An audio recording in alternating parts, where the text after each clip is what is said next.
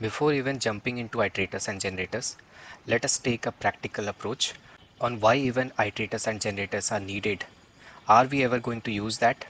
We will understand it in this tutorial. First of all, I would like to show you the server that powers FastAPI tutorial. So if you notice this memory, memory is almost half full.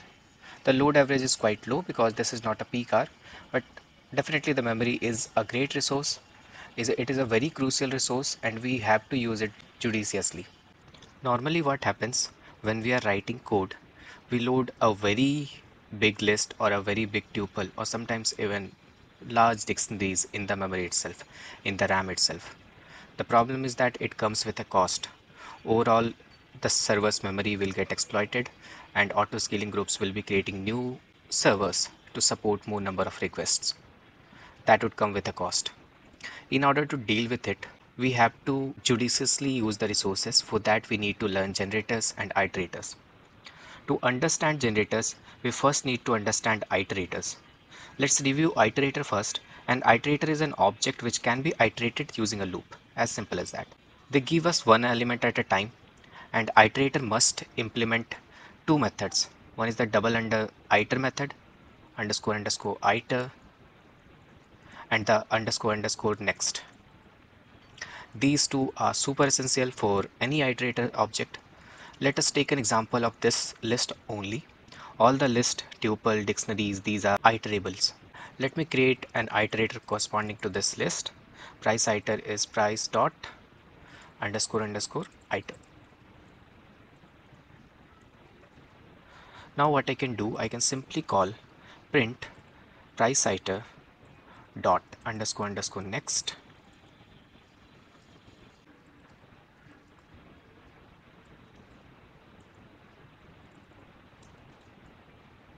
It prints 1 if we repeat the same line again and save it we need to run the file again. It gives 1 2 and 3 so you might have got an understanding what iterator does. It basically gives us one item at a time and as per the demand. This helps avoid keeping a big list or a big tuple or any big data structure in the memory itself. We can get whatever we want on demand. Deep inside, most of the Python utilities are using iterators or generators. Let me show you.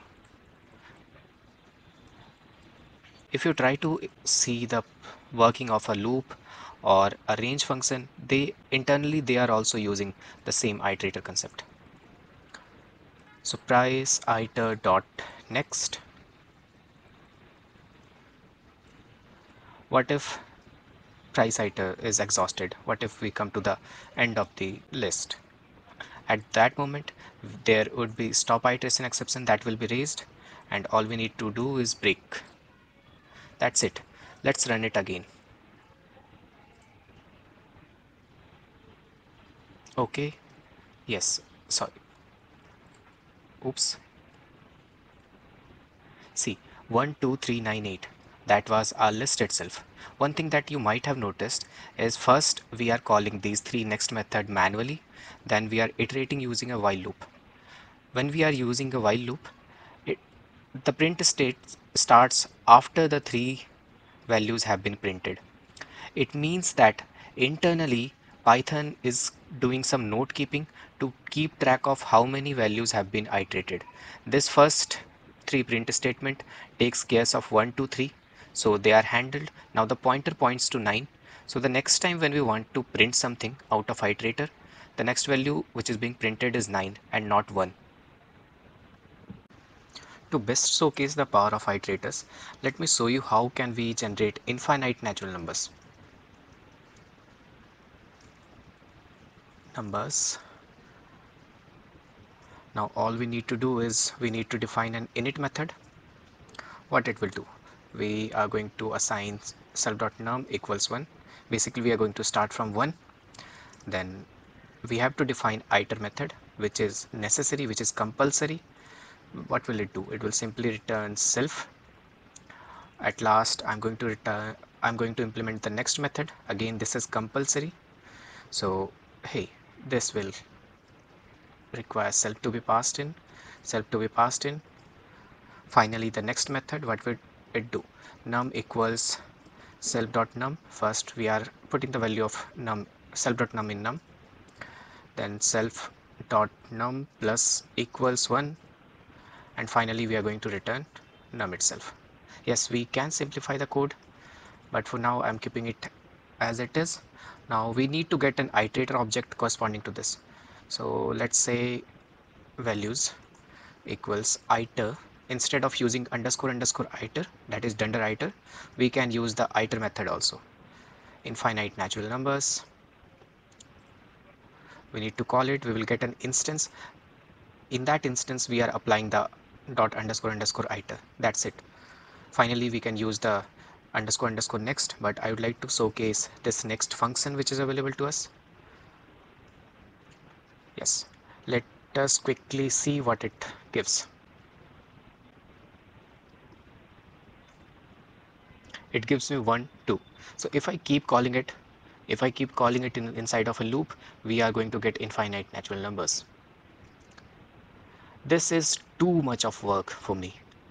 We developers we are super lazy and we do not want to define iter method next method. This comes with so much of context. Instead of doing all of this what we can do we can simply use a generator. A generator is basically a smart and intelligent way to create iterators itself. Let me show you how. Let's create a simple generator. What it does it simply returns me some values that I'm going to hard, hard code for now. Yield 1 yield 2 yield let's say 3 that's it for now. We need to get an iterator corresponding to it but that is implemented automatically as we are using generator. So we need not go through the same thing again.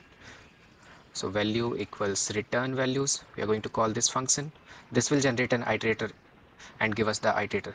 So we can directly call print value dot next underscore underscore next. That's it. Let me show you how it works. Python and then file name we have to provide. It gives me 1 2 and 3 the exact same thing that we could achieve using iterators using more number of lines. Now we can achieve that in a very simple thing in a very simple way. So where are we going to use it? Deep inside in python it is used at many places for example if you see the implementation of range method or loops they are all using it. In the practical real world let's say we have a very big csv file which is of some hundreds of gbs we want to read it out and process each row at once. So instead of loading the whole of the csv file in memory what we can do we can have an iterator corresponding to that file.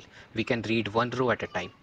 That would be some really really cool thing in fast api what we are going to do we are going to get a session object which will talk between our code base and the database now in order to get that session object we are going to use the concept of yield which internally uses generator itself. So we will have as many session as many database connection pools as required instead of just having a numbers a fixed number of database connection pools and then wasting them